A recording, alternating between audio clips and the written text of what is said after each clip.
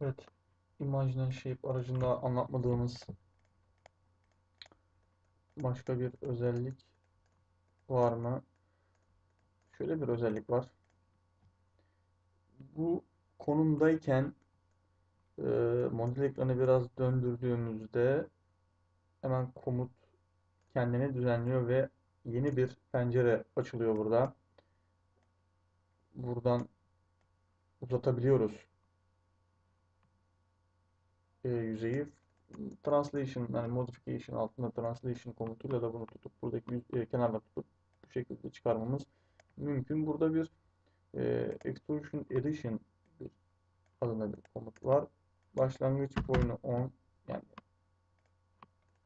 koordinat sisteminden sıfırdan x'te 10 milim ve 50 milim boyunda yani 40 milim uzatmamız mümkün. Number of section buradan bastığımızda 5'e bölüyor. Fx cutting'i uyguluyor. O komuta da bakacağız. İşte 4 dediğimde 4'e bölüyor. 2 dediğimde 2'ye bölüyor. 1 dediğimde 1'e bölüyor gibi. Burada anlatmadığımız daha başka komut. İşte bu şekilde yapmamız extrude komutunu gerçekleştirmemiz mümkün. Drawing View'da buradaki işlemlerden çizim yani baktığımızda normal to SolidWorks'teki gibi normal to veya buradan normal to VF gibi düşünebilirsiniz. Saflarına direkt o oradaki kenarlar karşıma gelmekte. Evet, apply dedim. E, bıraktım. Siliyorum. Yine fronttan bakalım ve burada komutum revolve. Revolve komutu da hemen hemen aynı extrude komutuyla kullanımı.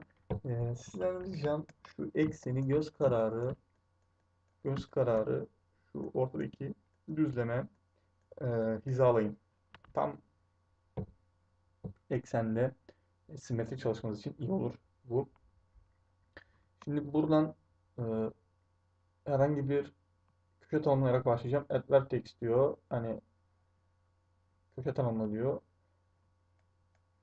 Tıkladım. Şöyle tıkladım. Burada iki tane e, vazo gibi konuşuldu. Tıkladım. Devam ediyorum. Artık ekseni yakaladı gördüğünüz gibi. Herhangi bir kaçırma ihtimali yok şu an. Gibi uzaklaşıyorum. Ee, çıkmadan, çeklemeden diğer yine Extrude'daki gibi, Extrude'da olduğu gibi komutlara bakalım. Takım paletindeki işte burada şu an kenar aktif. Kenarı taşıyorum. Kenarla oynuyorum. Gördüğünüz gibi anında eşitliği yansıtıyor. Noktayı tıkladım. Noktayı noktayla nesne, e, objem, objeme özellik veriyorum, modifiye ediyorum. Devam edelim buradan. Align point. Gördüğünüz gibi extrusion hemen aynı. Attraction bahsetmiştim. Yine köşelere keskinlik, yumuşaklık katmakta. Mesela şu köşeye keskin veya şuradaki keskin köşeye bir yumuşaklık katmak mümkün.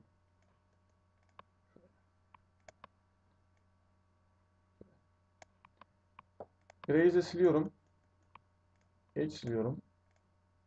Veya nokta siliyorum.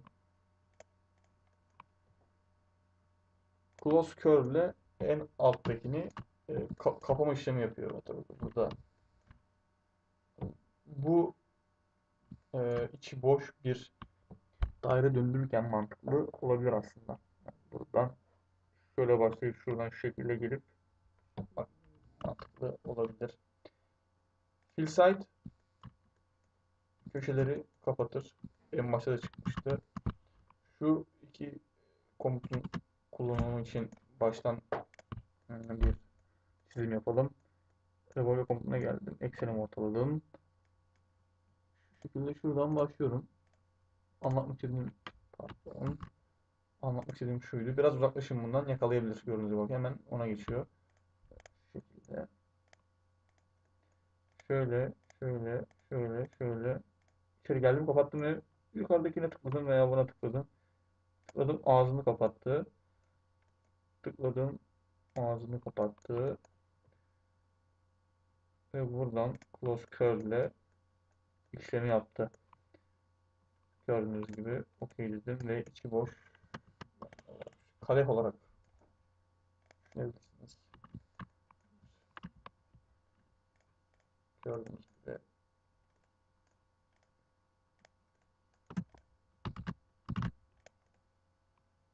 kalemlik gibi düşünmeniz mümkün.